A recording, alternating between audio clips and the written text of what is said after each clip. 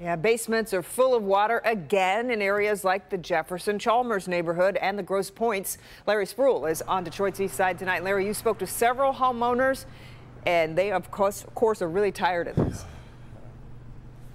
Kimberly and Devin, they really they're over all of this, and but most most importantly, they say they are nervous every time we get a heavy rain like we did today. Now, people here in the Jefferson Chalmers neighborhood say they are used to their streets flooding, they're used to their basements flooding. But good news tonight, most of that water is gone. But they also say just because they are used to it, they're tired of dealing with it. It was there. See the water level right there. Retired Detroit firefighter Robert Tucker says this is how high the water was inside his basement here on Hillcrest on Detroit's east side a few weeks ago when the rain swallowed his basement. My furnace, I just had that repaired, water heater, washer, dryer, everything was just covered.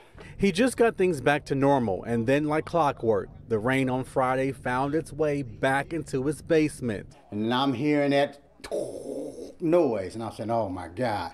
It sounded like a stream. He immediately rushed downstairs. Second time around, my basement is filling up again.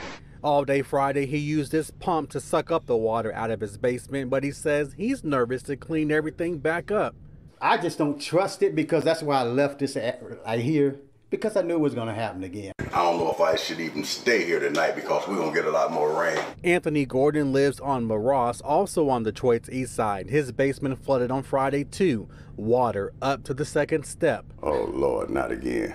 You know, it's just terrible. It's just people going through it over in this neighborhood. Not again, because just like Tucker, he also just finished cleaning up the mess from the recent flood.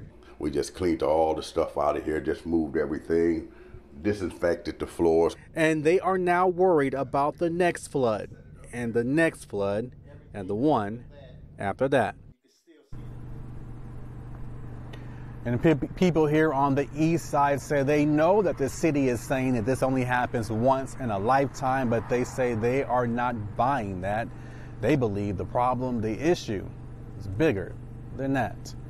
We're live on Detroit's east side tonight. Larry Spruill, Local 4. So many folks just exhausted yeah, from what they've been through these last three weeks. Yeah. All right, Larry.